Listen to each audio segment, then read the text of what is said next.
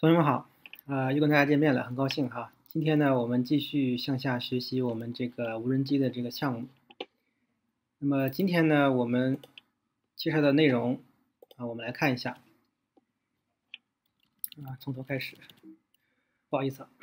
今天我们介绍的内容呢是这个呃开发板与电脑、手机的这个 WiFi 通讯。那么主要的呃模块呢就是我们这个板上的这个八二六六。啊，我们物联网课程的同学呢，这个开发板上会有这个 WiFi 模块，然后我这个飞机上呢没有这个 WiFi 模块。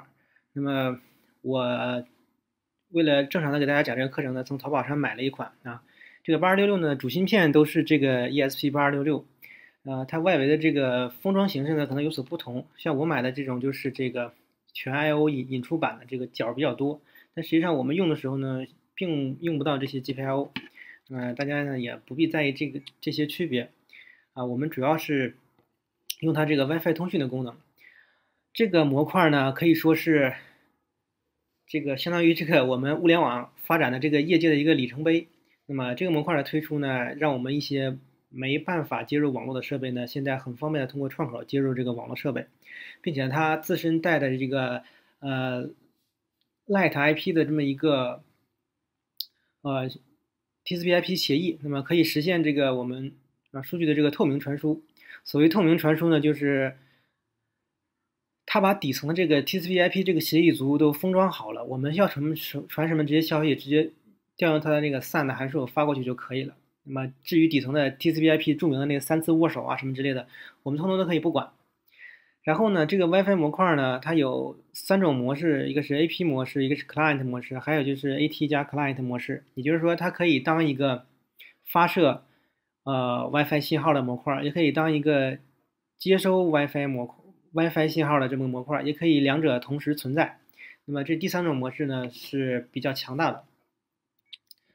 好，我们来简单的看一下这个 TCP/IP 协议。那么 OSI 中呢，将这个呃，通讯传输呢分为七层啊，从底到顶分别是物理层、数据链路、网络层、传输层、绘画层、表示层和应用层。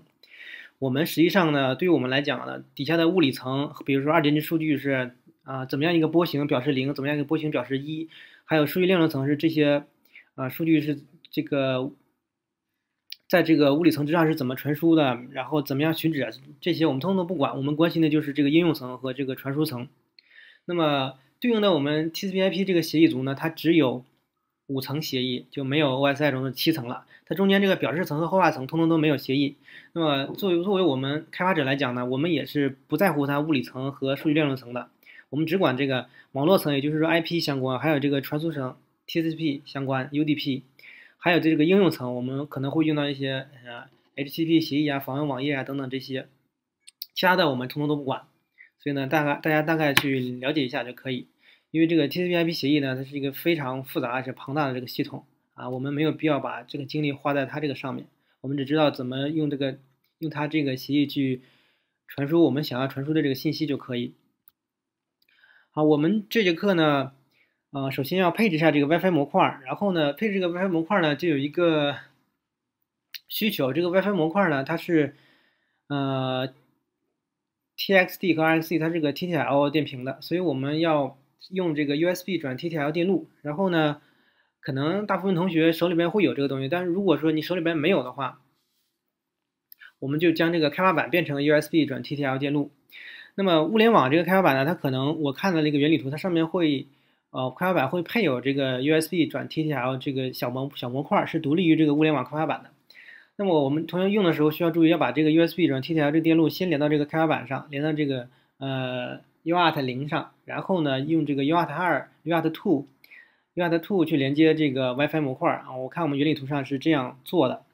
那么我们这节课呢是将这个开发板变成这个 USB 转 TTL 电路，也就是说呢，你电脑发了个信息到开发板之后，开发板再转发一次啊。因为我手头没有这个物联网这个模块。然后呢，呃，课程配置的那个飞机上面那个 I/O 非常少，没没法连这个模块，所以我就用了一款比较普通的这个 STM32 呃的最小系统开发板，然后把它变成了一个 USB 转 TTL 电路来讲这个课。好，我们这个配置这个 WiFi 模块的时候，需要使用这个串口软件与开发板通讯啊，这个不必废话了。然后开发板转发消息到这个 WiFi 模块。那么后面呢，我们继续会讲这个开发板与电脑通过 WiFi 通讯啊，WiFi 模块作为服务器，当然你可以在电脑上建立一个服务器，然后 WiFi 模块作为客户端跟它连接。这个呢，我们课程中因为时间关系我不多讲啊，这个后面大家可以作为一个课后作业去练习一下。然后配置服务器呢，首先要打开这个多客户端链接，否则的话，呃，建立服务器可能不成功。然后服务器建立的话，就一条命令，一条 AT 指令。然后这个端口号我们设置为二幺五六七，因为端口五千以内的都是预留给其他服务器用的。我们这个测试的话，尽量往后靠，它最多端口号是六五五三六个，我们就往后面选就可以。五千以内的尽量不要用。然后电呃，我们会用这个电脑客户端的程序啊，Python 脚本啊，是一个用 Python 写的程序，然后很简单。然后我们去连接这个服务器，然后开发板呢就是接收这个 WiFi 模块，主要是通过这个 USAT2 传来的消息，根据消息执行动作。我们也可以直接把这个消息回传，通过 USAT1 回传到这个电脑上，通过这个创口条助手。好。那么我们来看一下这个，今天呢，我们主要这个任务任务都在这个演示环节上啊。我们主要是演示一下开发板与电脑这个通讯，开发板与手机的通讯。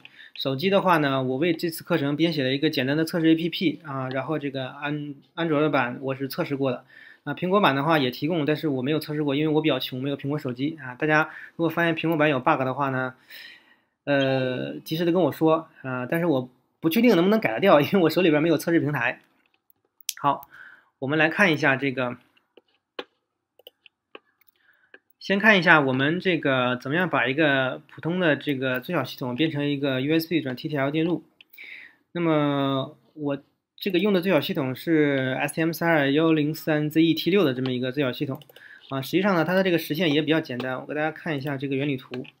这个最小系统呢，除了这个主芯片之外，几乎没有什么电路啊。我们用到的就是这个。这个部分，它板上有这个呃 USB 转二三二，嗯，对，CH 三四零这个芯片，啊，这边接收 USB 连到我的电脑上，那么这边呢就连到它的这个呃 STM 三二这个 TXT 和 RSD 上，然后呢，我们这一路相当于是跟电脑通讯的这个啊，呃 USART one。然后这个 USAT2 呢，我们把把把这两个角接到我们这个物联网模块的这个呃收发角上。那么这个原理呢就很简单，跟大家说到这儿。然后对于我们这个呃使用这个 Max 学院物联网的这个同学，好，你注意，我们这个模块呢也是默认接到这个啊 USAT2 上的。然后呢。比较可惜的是，我们这个板上好像没有这个 USB 转 TTL 电路，但是它预留了这个 TTL 串口接口，所以呢，在这里，所以呢，我们可能会把呃随着开发板配一个这个 USB 转 TTL 电路，嗯，大家呢如果是懒得弄的话，也可以直接把这个 USB 转 TTL 接到这个 WiFi 模块上，因为这两个都是可插拔的。但如果想跟着我做的话，就把这个 USB 转 TTL 接到这个上面，然后让这个 CPU 去充当一个转发机制，把这个。消息再发到这个 USAT2 上，就是连这个 ESP8266。好，这个硬件原理图大概说到这儿，然后我们看一下这个程序中怎么实现的。这个程序呢，主要是这两个方面啊，我们用了两个 UART。那么在这里边呢，上节课也说过了，这个两个 UART 初始化就比较简单，GPIO 中断，然后还有这个 UART 的初始，这是连着两个。串口的初始化，然后呢，这个是两个串口的中断函数。好，放大一点看，这是串口一和串口二。串口一和串口二分别有自己的这个接收缓存和发送缓存啊。这里边我们只用到接收缓存。它接收的时候呢，啊，如果是收到的最后一个字符串是杠 n，那么就表示一条消息接收完成。然后呢，因为它最后是一条杠 n 嘛。那么它就会把杠 n 之前的两个数据，就是一个是杠 n，一个是杠 r，标一下。这个字符串是杠 r，然后这个是我们收到的这个杠 n 反斜杠。好，它它把这两个数据覆盖掉，也就是说把后面这两个这个表示结束的字符串去掉，再写到这个缓存里边。然后呢，我们这个两个接收函数都是一样的。我们这个主主程序呢是一个死循环。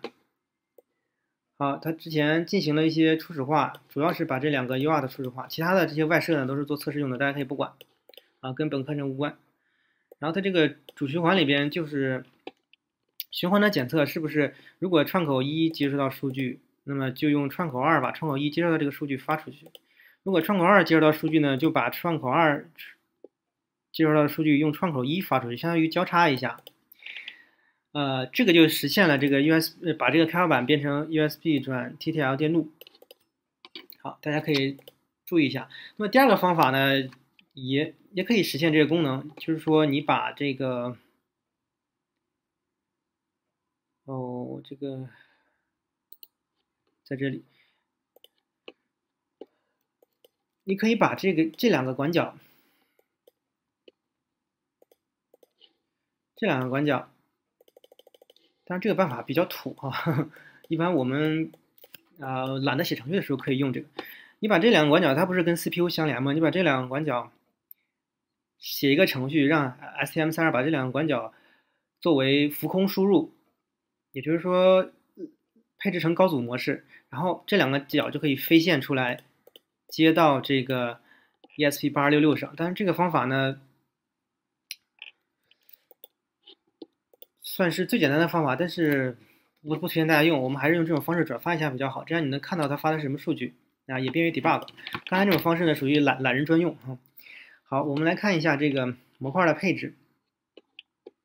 啊，我们用的这个串口软件叫 CoreTerm，这个是，呃，也是 Windows、Linux 和 macOS 三个系统通用的。那么我们来看一下怎么配置这个模块。这个模块呢，配置的时候呢，它首先要连上家里的 WiFi。那么我这边是连着 WiFi 的。然后呢，配置这个模块连家里的 WiFi 的时候，需要给它发一个命令。好，这个命令的话呢，一般官方都有这个详细的命令教程，我们这里只用一下。好，这个命令就是这样的：发送 AT 加上 CWJP 等于这边是你家里边 WiFi 的 SSID，对应我这里边如果啊，我这里是家里，这里边就填家里，后边是密码。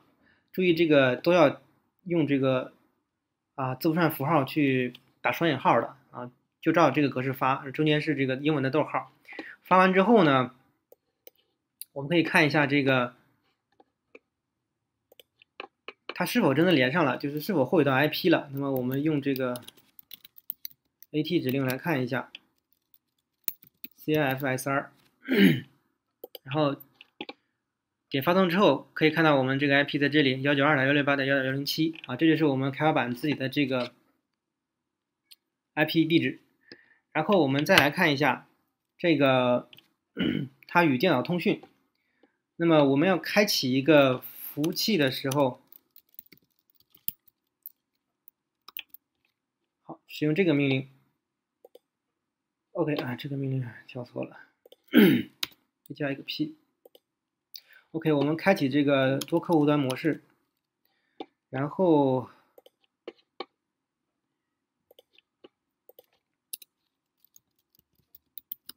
我们开启 server。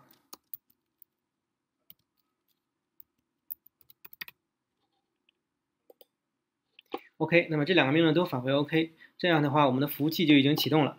然后呢，我们用我们的这个电脑的客户端，那么我们的 Python 脚本同样是运行在这个 Eclipse 下，我们这个 client 在这儿。简单说一下这个。啊，首先是导入必要的包，然后是确定这个主机地址、端口号，然后这个 buffer 是这个缓存的大小，然后就开始访问这个端口号。它访问端口号之后呢，会提示我们输入信息。啊，我们发送的消息呢都是以杠 R 杠 N 结尾的，就是为了方便配置这个，因为我们在这个 STM32 就是呃单片机里边，因为单片机是跟这个模块连着，单片机里边配置这个消息都是以杠 R 杠 N 为结束的，所以我们这里边呢也遵循这个规则。好，我们点击运行，那么这边出现这个三角号，说明已经连上了。我们看这边，好，这边显示信息是零点 connect，也就是说这个客户端零啊已经 connect 了。如果我们再有客户端连接的话，就会显示一点 connect。好，我们显示发送一个 test WiFi 回车。那我们这边 OK 收到了消息，十一个十一个字符串啊，客户端零发来的十一个字符串 test WiFi。为什么是十一个呢？你这数了可能不是十一个，因为我们这个杠 R 杠 N 它是不显示的，在这个上面，在后面这个杠 R 杠 N 它是不显示的。好，我们再发一个，呵呵，OK，在这个上面四个字符串它显示六个，因为后面有杠 R 杠 N。好，那么这个是我们的开发板与电脑通讯。再看我们的手机，维持这个状态不变的时候，直接打开手机，我们打开专用的这个测试 APP，叫麦子下划线 UAV，就是麦子无人机。然后我们在这个主机 IP 里边输入。幺九二点幺六八点幺点幺零七，好，点连接。这时候我们看屏幕上出现了一点 connect，这个客户端一就是我们的手机。那么我们给它输入一串字符串发过来。OK，那么这边也接到了手机，然后发一个 test 过来。好，发送成功。这边显示 test，手机这边也是一样的。我因为我后边加了一个杠 R 杠 N，所以它是显示接收到六个字符，但实际上只有四个，因为后边有两个结束符、回车符。好，那么本节课的这个测试呢，就做到这里。那么相应的，大家也可以在电脑上建立一个服务器。那么这个服务器的程序在这里。啊，后面我会传到网盘上。那么大家用这个模块当做客户端，连接这个服务器，跟它发送消息。好了，那么。这节课的内容呢，也就讲到这里，呃，大家可以回去实际操作一下。那么，谢谢大家。